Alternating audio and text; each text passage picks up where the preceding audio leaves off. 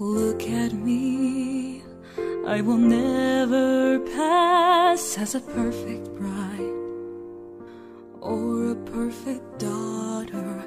Can it be?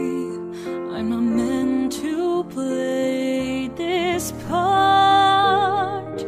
Now I see that if I were truly to be myself, I would